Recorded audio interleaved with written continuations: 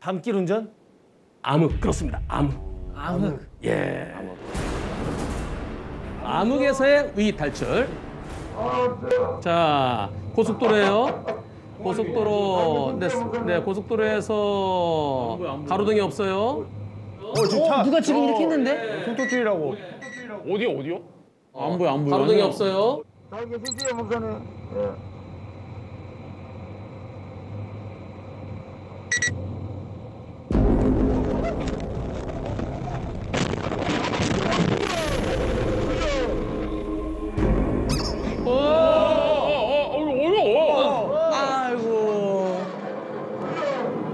진짜 위험하다. 고속도로에 저렇게 자 사고 나 있었어요. 사고 나서 차 한 대는 1차로를 가로막고 있고요.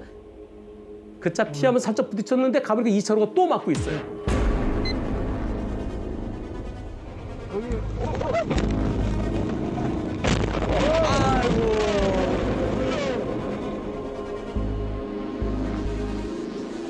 산 넘어 산이네 이거. 산 넘어 산. 이거는 어떻게 피해?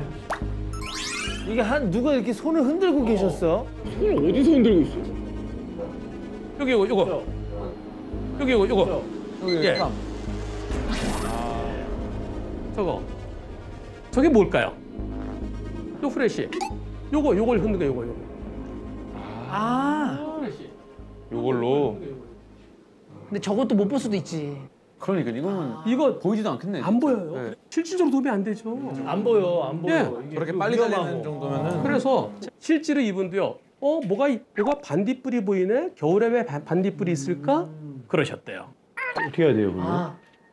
고속도로에서 앞에 차가 하나도 없었죠. 네, 맞은편에도 차가 안 왔죠. 네. 이때 만약에 앞에 차가 하나도 없었는데 아. 아, 정답. 차가 없을 때는 멀리 보기 위해서 그 라이트를 그 쌍라이트 켜는 걸로. 상향등 상향등. 어깨 상향등 상향등. 상향등. 상향등. 아. 근데 가끔 상향등 키면 이제 맞은편에서 맞아, 맞아. 눈 그러니까 부시다고 맞은편에 차 오면은 끄고. 차가 없을 때? 차 없을